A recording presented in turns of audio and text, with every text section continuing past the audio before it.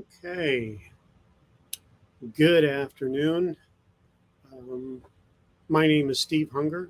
I am the manager for uh, customer experience here at Kinney Group. And welcome to uh, this month's Lunch and Learn entitled Regular Expression Basics in Splunk. We appreciate your time today and believe that you'll come away with, addition, with additional tools that will assist you, assist you in your day to day work with Splunk. Today's session will be delivered to you by Eric Holsinger, who is a member of our customer experience team and delivers ex- Splunk expertise to our customers and supports our Atlas product. With that, I'll hand it over to Eric. All right. Thank you, Steve. Uh, like Steve mentioned, today we are going to be covering regex basics in Splunk. Um, and we can go ahead and show that on today's agenda, uh, we're going to start with uh, front-loaded intro to regex, um, just a uh, broad overview of regex, how to use it, how to read it um, on the basics level. Uh, then we'll move on to Splunk and regex, a couple of different ways that you can use regex within Splunk. Um, and then our live demo portion today will cover the regex, rex, and erex commands within Splunk itself. Um, these are run within the search bar within Splunk, uh, SPL, Splunk Processing Language. Um, so those are going to be our main focus today for our live demo. So we can go ahead and jump right into a practical breakdown of the intro to regex. So what is regex, uh, otherwise known as regular expression? Uh, we just shorten it to regex uh, for shortening purposes a sequence of characters that can pattern match id text. Uh, this allows for advanced pattern matching on your data, and it can be used to manipulate text and data, uh, especially in Splunk, um, such as creating new fields, replacing pieces of data, and more. And so these are some of the uh, basic characters that you will use whenever you're uh, working with regex. Um, so you have your control characters. Uh, so you have your caret, which can mark the start of a string and you have your dollar sign that can mark the end of a string. Um, and all of these we will see working together uh, later on here. Uh, the most basic character types, we have a slash S, means a white space. Um, so any kind of white space, it can be in a number of different things, um, just a non-digit, non-character space, essentially. Uh, capital S is a non-white space. Uh, lowercase d with a slash is a digit. Uh, similarly, upper lowercase or rather uppercase d with a slash is not a digit. Slash lowercase w is a word character, whether that's a letter, um, a symbol, or such as uh, the pound sign or the underscore. Uh, slash capital W is not a word character. And slash lowercase n is a new line. That's how you specify a new line. Um, and then we have operators that we can combine with the character types. So we have a star, which means zero or more, plus, which means one or more, or a question mark, which means either zero or one. So for example, and we'll see it in a slide or two, if we had a slash d, lowercase d, to mean digit, and we had a plus on the end of that, that means we are looking for one or more digits. Um, and with regex, you usually tell it whenever to look for a different character. Um, so essentially, if you had a slash lowercase d plus, it would look for as many digits as it could find until it hit one that was not a digit. Um, and this is not a comprehensive overview of all the control characters, character types, and operators. Uh, we're just keeping it on a basics level today. Um, but all of these elements work together to specify a pattern. And so this is an example. And it's uh, kind of uh, messed up the formatting there for me, unfortunately. I apologize about that. But I can go ahead and explain this. So we uh, have a red caret and a red dollar sign that is marking the beginning and end of the string. As you can see, uh, before the zero seven, I can actually turn on drawing. That might be a little bit helpful. Right here and right here is what we are considering the caret and the dollar sign. So that is the beginning of the string and the end of the string we have our D plus in green. So this is looking for one or more digits. And so we're looking at one or more digits. We have two right here with the 07. And we're telling it to look for a white space afterwards. And that tells us whenever we're done looking for digits. So we have our white space here, which in this case is a literal space. Then we are looking for one or more word characters. So here we're looking for word characters, and that can be uppercase or lowercase in this uh, example. So we have captured the FEB here, and again ends with a uh, slash S to look for a white space, which we have here. And then we are looking for a, uh, this should all be one line. So we're looking for a slash D plus once again. And again, we have four digits here, so we capture all of those until we hit a white space, which is this space right here. And then finally, we have a slash D plus, and then we have a colon. And so if there is no slash around it um, in a couple different situations that I'll talk about, most times if you see just a symbol or a letter by itself, it means literally that character. So in this case, we're looking for one or more digits, which we have 18 here. And then we're looking literally for this colon. And so we find it here. We match on that. And again, we look for one or more digits. We have four or five here. We match on the literal character of the colon here. And then we have our uh, final one or more digits, which we match on right here.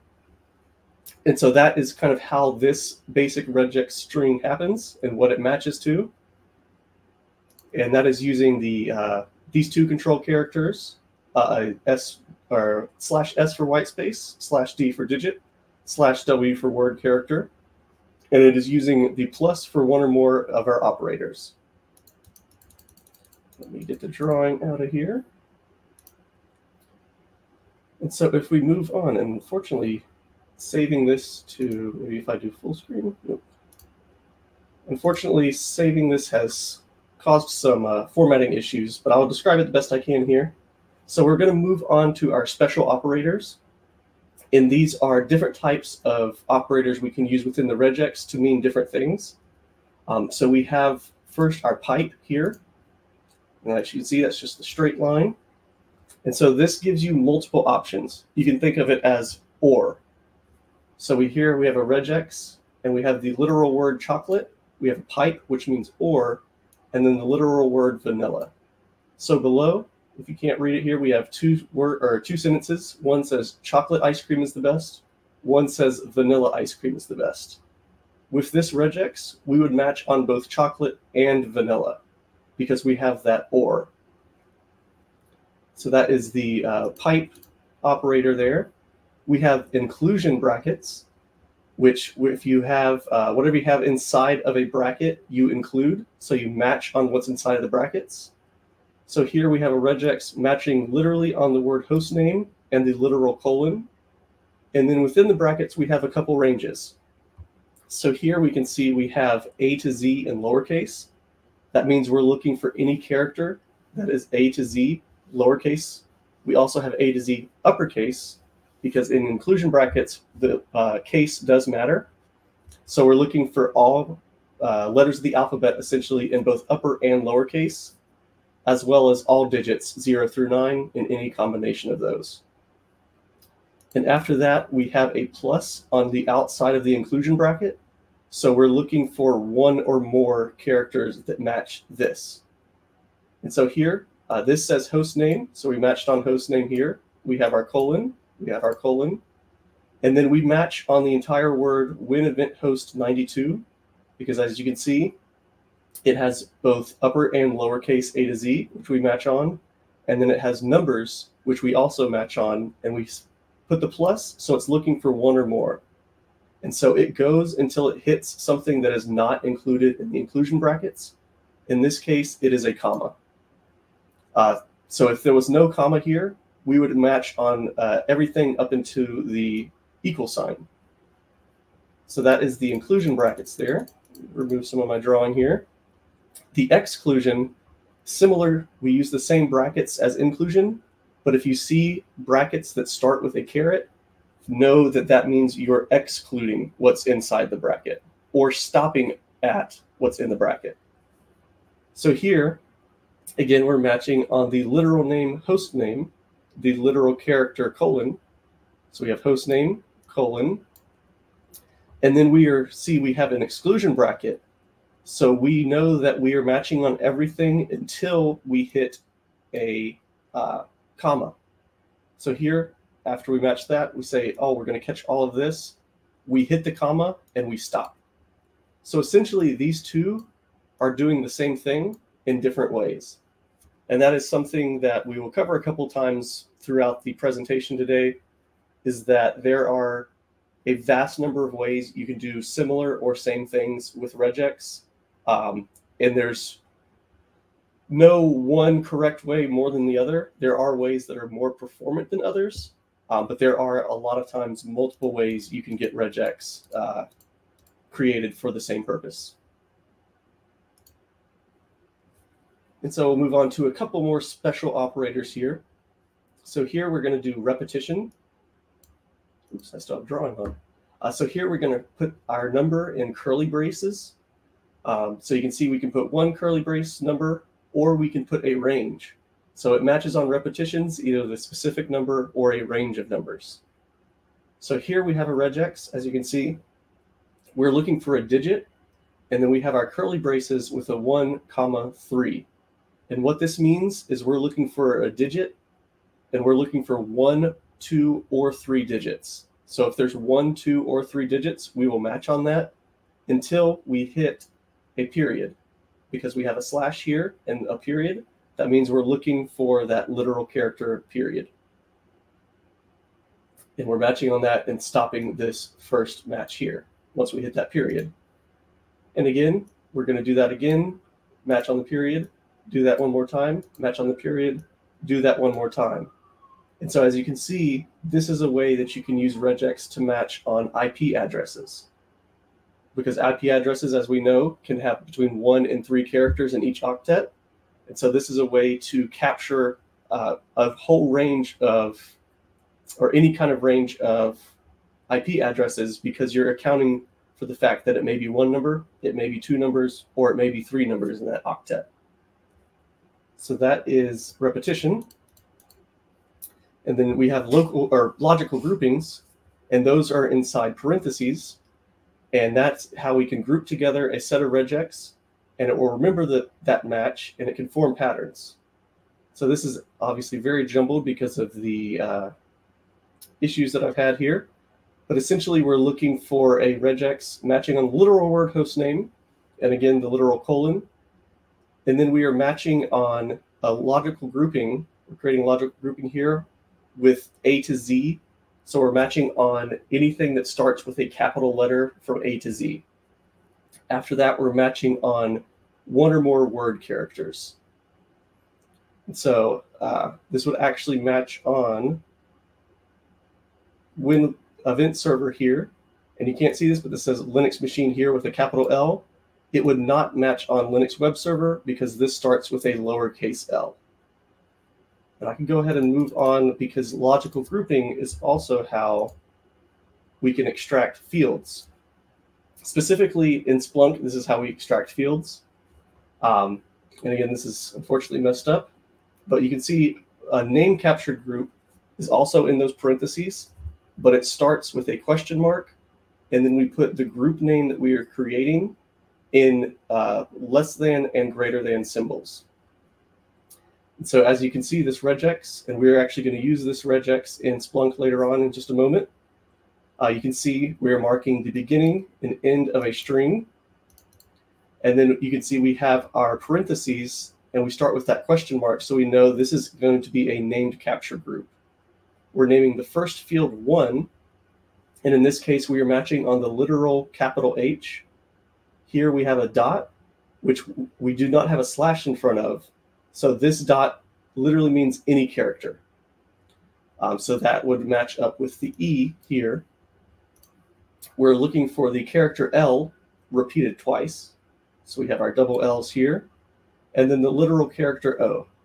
So that matches on hello and then we have a space here, and then we have another named capture group that is going to be named 2, where we are matching on either a capital or lowercase w character, followed by one or more word characters, followed by the literal character D. So that would match on world, both uppercase and lowercase. Um, and I will show in just a moment a little bit uh, more logical grouping, but essentially we have group one and group two. Um, and so group one, we would have hello and hello because we matched on that. Group two, we would have world and world, one with a capital and one with a lowercase. So that are some that's some basics of regex. And like I said, once we get to our live demo, I will show you in more detail how those actually work within Splunk itself. But we can go ahead and move on to uh, Splunk and regex, some ways to use regex within Splunk. So the first way we can use it is for field extractions. Um, so I'm going to show you with the rex command how we can extract fields at search time, but we can also extract fields, uh, and that would be for that specific search that we're running. We can also extract fields for all searches. Uh, so there's a couple different ways. So as you can see, if you're uh, familiar with Splunk, whenever you run a search, you're going to have this interesting fields bar. At the bottom, we have an extract new fields button. Also in Splunk, if you click on a individual event and click event actions, there's an extract fields button there. Both of these will take you to the same page. Uh, and I know it's a little hard to see, but um, essentially you're able to choose if you want to extract fields through regex or if you want to extract through delimiter. So if your data is comma, comma delimited, you can extract fields based off of that, or you can extract fields off regex. And how it works is that you highlight a value that you want to extract, and Splunk will try to create a regex automatically to extract that. So as you can see, this is looking to try to extract a IP address.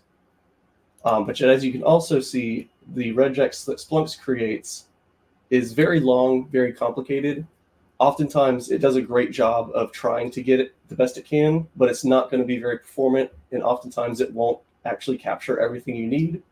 I know it's hard to see, but down here it's capturing these two, but there are other IP addresses that it's not capturing.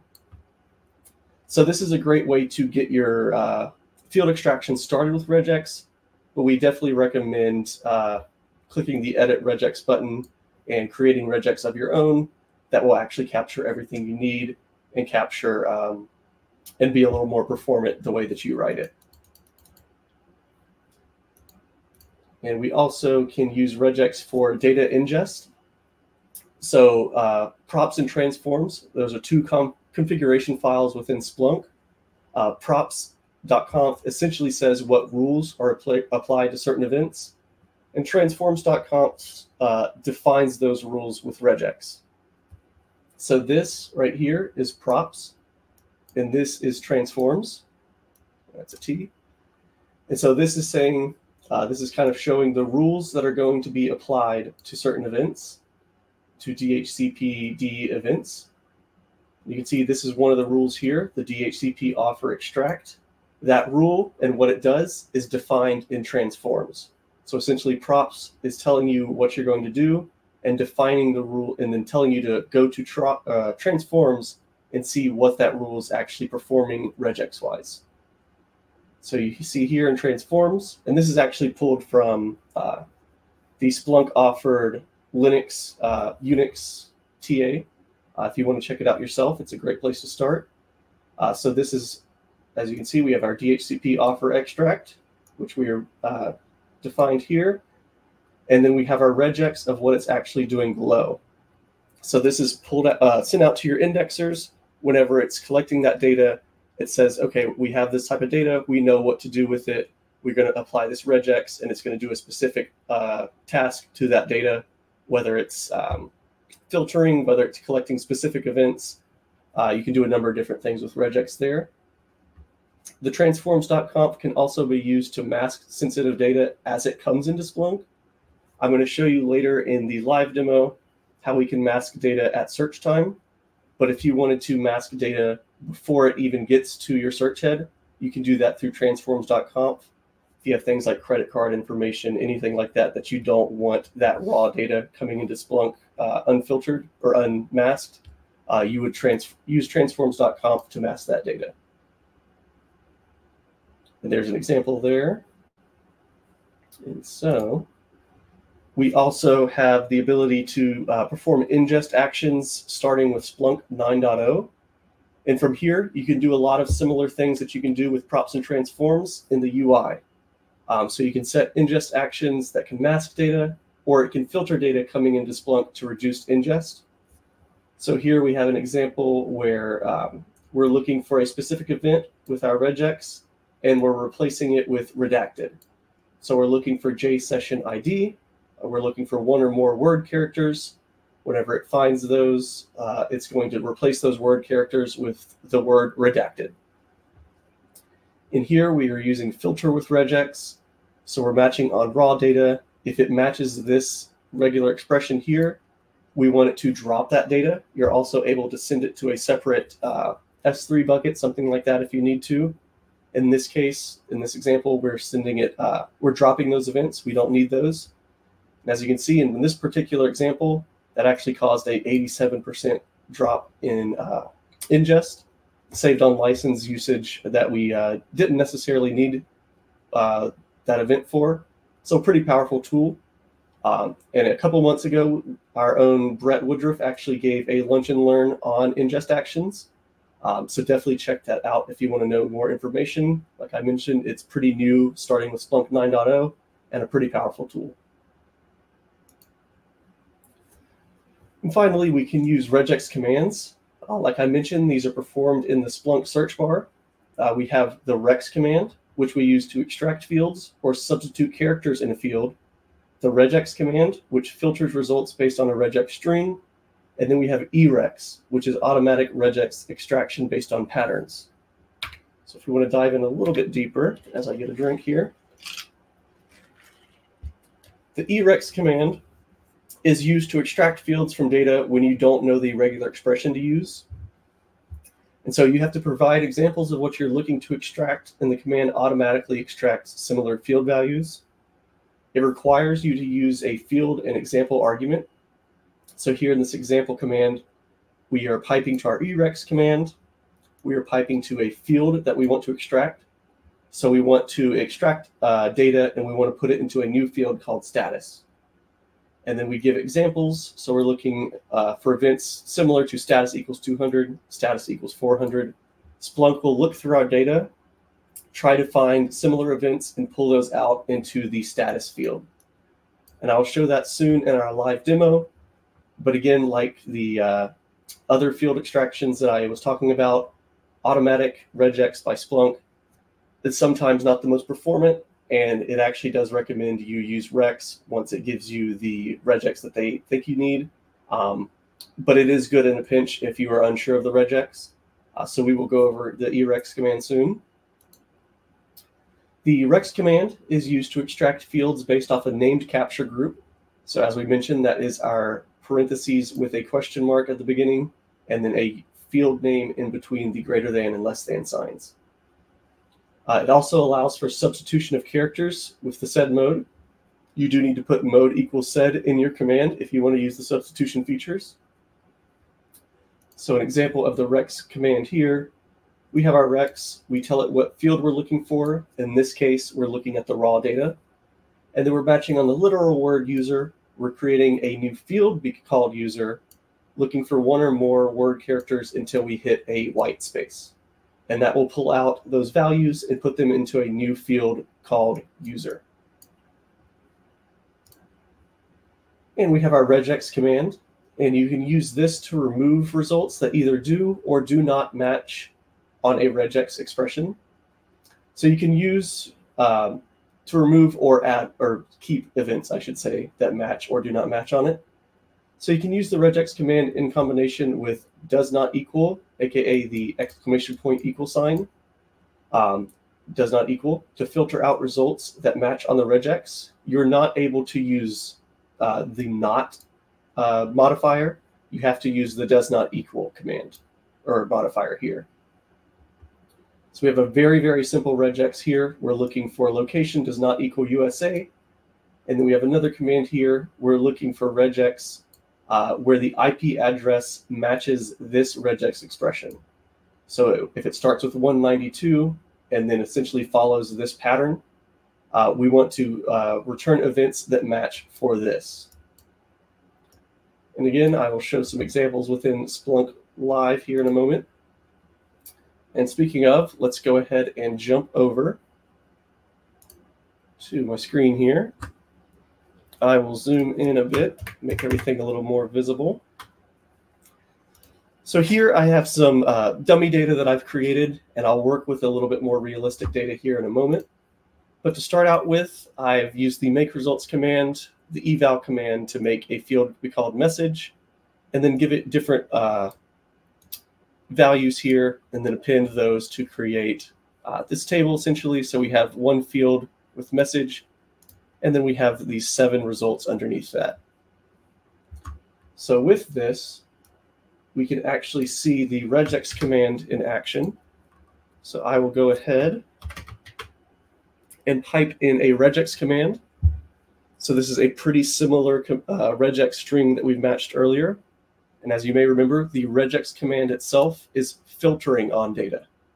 So we're looking at the message field, and we want to match on uh, data that matches this regex command. So we have our starting. Let me zoom in one more time, actually. So we have our starting and our ending operators there with the caret and the dollar sign.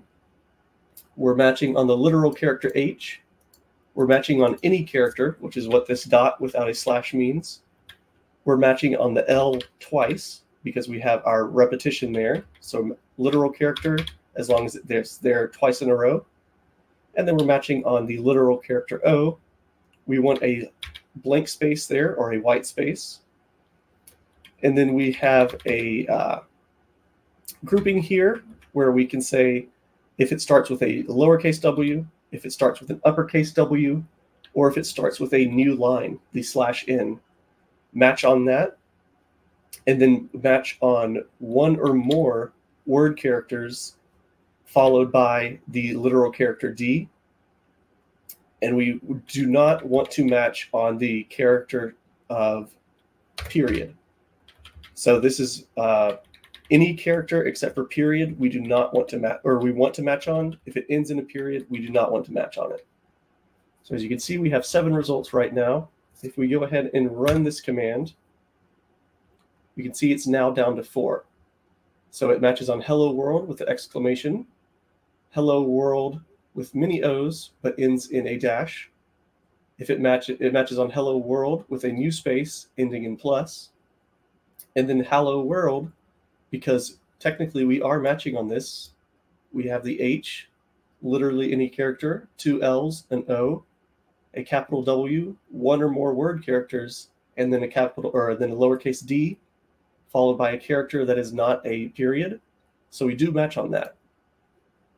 If we were to give this a does not equal, put the exclamation point in front of there, we are now going to match on the three that were not included in the first one. So hello world with no character at the end, hello goodbye, and double doubled. So obviously these do not match on it. So whenever we put does not equal in our regex command, we get those uh, that do not match. And then again here, we have those that do match. So for example, if we took away the question mark on hello world, and then we ran this command again, it would no longer be included because again, we are looking for a character as long as it's not the period. So we can go ahead and put that back in here. And next, we are going to use the rex command to actually create two new fields based off of this data. And so as you can see, we pipe to our rex command. We tell which field we want to use. In this case, we want to use message. In here, we have our uh, quotation marks to let us know it's our regex string. We start out telling that this is the start of the string, the end of the string. And again, we have our parentheses that have the question mark, and then the later, later less than and greater than symbol, letting us know that this is a named capture group. Within the uh, less than and greater than, we have our new um, field title. So it's going to be called first word. And again, we're matching on the same uh, or similar regex that we were last time. So we have the H, any character, two L's and an O, followed by a, a white space. And in this case, since they are right after each other, we can actually create two fields within one regex command. So we're creating a second field called second word. We're matching on lowercase w or uppercase w. We're matching on one or more word characters followed by a literal D, and then any uh, character that is not a uh, dot again, a period. So I can go ahead and comment this out for one second, give us our original results here. And then if I uncomment out this command, we can see when I run it, uh, events that match this regex. Now I have removed these, or I created two new fields and pulled out the appropriate uh, value that matches our regex string. So you can see here, we match on all of the regex. So we pull out the first word, hello, second word, world with exclamation point. And again, here, here, and here. And so that is um, how you can use the rex command. And I will show you with uh, a little bit more live data in a second as well. But one thing that I want to briefly touch on, it is a little bit beyond the scope of uh, intro to regex within Splunk, but I did want to touch on it very briefly, is that we can actually use regex without one of these regex commands. We can use it with the eval command. Um, so in this case, we are piping an eval command to create a new field called match. Then we're using the case command and matching that if our message, so we're uh, essentially, we can look at this part first.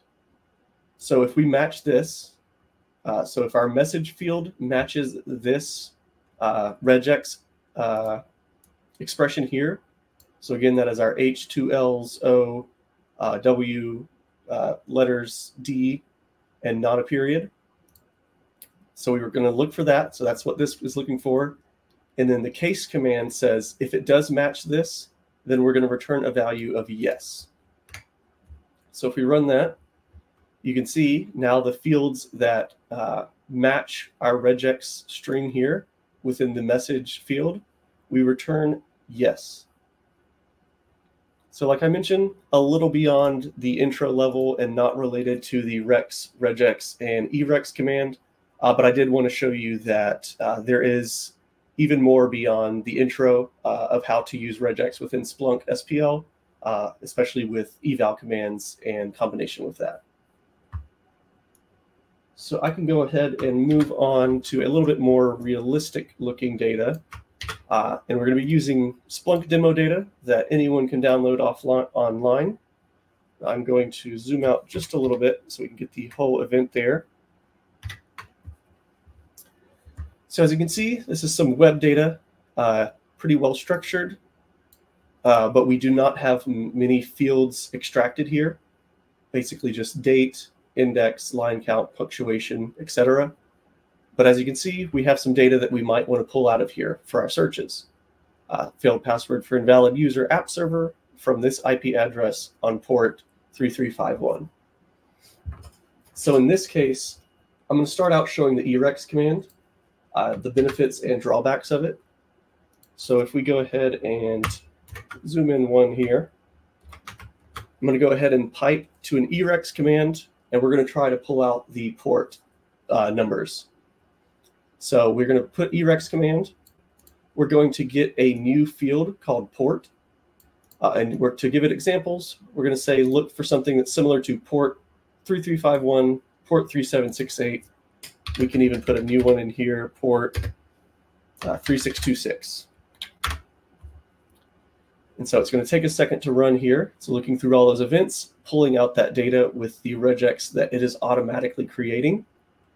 If we go down here in our interesting fields, we can now see we have a new field called port. If we click on that, we now see that we do have port 244, etc. pulled out. Unfortunately, it does have port in front of it. Not always the best in terms of using uh, usable data for Splunk. Preferably, we would just want the port number. Uh, one of the drawbacks of erex is that uh, any examples that you use, it's going to take very literally. uh, and may pull out things that you're not necessarily wanting. But one thing to point out is whenever we run the erex command, if we click on this job drop down here, you can say, see, see it says successfully learned regex. Consider using the command rex, and then it gives you the regex that it brought out. Uh, because if you use erex and you find regex that you do like, it still recommends that you instead use the rex command. It is less uh, resource intensive than the erex command. Uh, so if you already know the regex, go ahead and use that rex command to pull out uh, fields, even if you got that regex from an erex command, just for uh, search performance.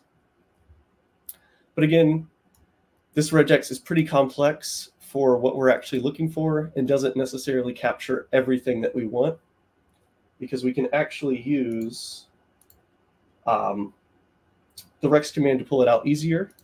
I'm going to show this example using the IP address.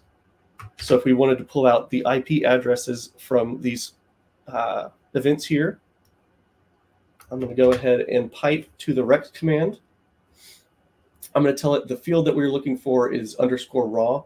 That's essentially the raw data because right here now our interesting fields that we have are limited. Uh, nothing on our fields include the uh, IP address except for the raw event. So we're searching on the raw event. And here you can tell, all right, we're going to be making a uh, new field because we have our uh, parentheses and question mark. We're going to call this new field IP address, and then we're going to match on our IP addresses. So here, uh, and if you remember back in our slides, and I can actually jump back here to this slide here. This is the first way that we pulled out. Um, let me get my drawing going. This is the first way we pulled out uh, an IP address. On our screen, we are actually pulling it out in a different way. So here we have a logical group that we're saying we're looking between one and three digits followed by a period. And then we want to repeat that three times. So if you look at the IP address, you can say that covers the first three octets. So we can see this is a one and three, there's a period, one and three, period, one and three, period. And then we can follow that up with the literal digit one and three. And that will capture the final octet of the IP address. So if we run this command, you can see that was much quicker than the erex command. And now we have this field of IP address. We can click on that, and now we have our IP addresses pulled out. And then from here on, we can uh, use this as if it is a field, um, just like any other field that we might have in Splunk. We can use it any way we want after it is pulled out with this rex command. So that is uh, an example of the rex command, but also an example of how, like I mentioned, regex can be handled in a number of different ways. So we had our original way of handling IP addresses. This is a different way of handling IP addresses. And actually, I will show you over here. This is a website called regex101.com.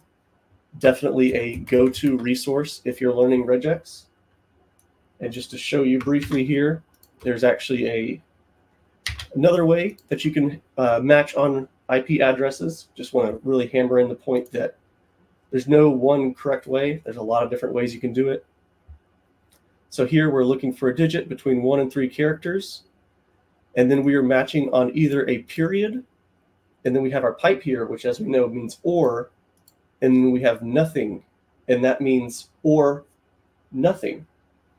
And then we repeat that four times. So it'll match this because it's one and three. It matches that period or nothing. It'll match this. Oops. It'll match this because that's one and three digits. It matches that period. It'll match this. It's one and three digits. Matches that period. And then it'll match this. That's one and three digits. And then nothing. So that is a third way that we can extract uh, or filter on IP addresses with regex and I'm sure there's more than that out there. I just wanted to uh, show a couple of different examples there. So we have our IP address field there. And I want to also show that, like I mentioned, since we have this field now, we can actually, actually even uh, use the regex field on it now. So now that we have this field, we can uh, pipe to a regex command. We're going to use the IP address field that we just created up here. And we're going to filter on events that specifically match this regex expression. So anything that starts with 192, then has between one and three digits, dot, one and three digits, dot, one and three digits. So as you can see, we have 100 plus IP addresses, 40,000 events. But if we run this where we're matching on specific events, we drop down to 289. And as you can see, we now uh, have just these two IP addresses that we matched on. Um, so you can use regex to filter. The show shows that you can use regex to filter, but you can also even use regex in combination with rex to filter on fields that you've just extracted with the rex command. Um, and again, if we want to filter on something else, if we want to filter on IP addresses that are even a little more specific, if it starts with 12 uh, dot 130, we can run that again with 382 events and we're going to match on these two IP addresses. And again, a little less visual, but if we do not want to match on those, all events except for those, again, we can do that. Now we have 30,000, 39,000 events, and those uh, two IP addresses that we were filtering on are not going to be in this list. All right, one other thing I want to show, and again, to help uh, nail down the point that we can use regex in a couple different ways. I'm going to pipe two rex commands here. We're going to comment out one first because they do the same thing. These are two rex commands that pull out the user field. Uh, so as you can see, we're matching on the literal word user because the way that this data is uh, coming into Splunk, it's always going to have user, the word user before the username. So as you can see, user app server, uh, user in chart, user MongoDB. Uh, mm, let's find one more, user desktop. So we know now that uh, it's always going to begin with uh, user. So we match on the literal word user, the literal space here, the space here is the literal space. Then we're going to create a new field user where we match on one or more word characters until we hit that space character, that white space character. So if we run this, now we have a user field with 100 plus values, as you can see there, pulled out successfully. But we can also, as I mentioned, very rarely one correct way to use regex. Uh, rex with the field of raw, we're matching on that user space, creating a new field called user, matching on one or more word uh, characters. And then again, we have our does not match. So we have the uh, braces with the caret at the beginning means go until you hit this or do not match on this. So we go until we hit a white space and then we stop our regex. So if we run that, again, we have our users there pulled out successfully. So two different ways to do the same thing. Um, as you can see, this is going to just be a small amount of uh, demo data. They ran pretty much the same, but on larger amounts of data, more complex uh, regex, there may be ways to make your regex more or less performant. And one final thing I want to show here is the sed portion or the replacement portion of the rex command. So here we're going to look at a little bit different data. So we're going to be looking at some vendor sale demo data. And as you can see, these uh, this demo data shows you a vendor ID, a code, and then an account ID. So say we are making a dashboard with this data, uh, and when the data comes into Splunk, we want that full account ID in there. But when we put it onto this dashboard, we want to uh, replace cover up part of that data. We do not want that full account ID on our dashboard, uh, possibly for security purpose, purposes, something like that. So we can use the rex command and use the sed mode to replace those. So we are going to first uh, pipe to eval. We're going to create a new field called ID length. And essentially, we're going to take the uh, field value of account ID and count the number of values within that. So if we run this, we have this new uh, ID length. And so you can see all of our account IDs are 16 uh, characters long. It's not necessary to do this first. It just helps us know um, that all our value or all of our data is formatted the same. And we know uh, if we want to say filter out the first 12 values of those 16, we know that, hey, we can use 12 and it's going to be the same for all of our data. So then we can go back up to the top, pipe to the rex command. So this time we're going to be using an actual field. So we have a field of account ID right here. And as you can see, when we click on it right now, before we run the rex command, all of our data shows up unfiltered. So we give it a mode of sed. That means that we are going to be replacing values. And so, and then we give it a regex command. And so uh, the sed command for regex um, and the rex command is a little bit different um, syntax. So we start with an S forward slash and end with a slash G. Just lets it know that we are uh, going to be replacing these values. And so we are looking for a digit. We're looking for 12 digits, in fact. And then those 12 digits in between these this slash means this is what we're going to replace them with. So we're looking at this field. We're looking for the first 12 digits that we see, and then we are replacing that with 12 X's. So if we run this command, as you can see in the raw data, it is still the same. However, if we click on account ID, now our fields values are uh, replaced. So if we were to say table account ID, you can see now they are going to be filtered out. So we can put this on a dashboard without fear of that potentially sensitive data reaching eyes that it doesn't, doesn't necessarily uh, need to reach. So that is the basics of regex commands within Splunk. So we covered the erex command, we covered the regex command, and we covered the rex command in both extracting fields and uh, replacing values within fields. So if we hop back over to our slides here, I can go ahead and say that that is the end of the content for today. Uh, if you have any questions, please put them into chat now. Uh, and if you have any questions uh, afterwards, maybe in an hour or so, a thought hits your mind, feel free to email us at support at kinneygroup.com, and we'll be glad to answer any questions that you might have. Thank you very much, Eric. Uh, it was a wonderful presentation. I do have a question for you. How many right ways are there to write a regex? There is as many stars in the sky almost.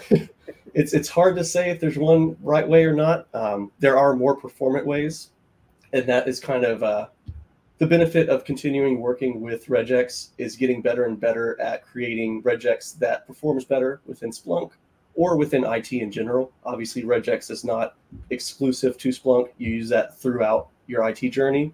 Um, so definitely recommend continuing working with regex beyond the basics and finding ways to uh, make it better, more performant, um, and really capture what you need.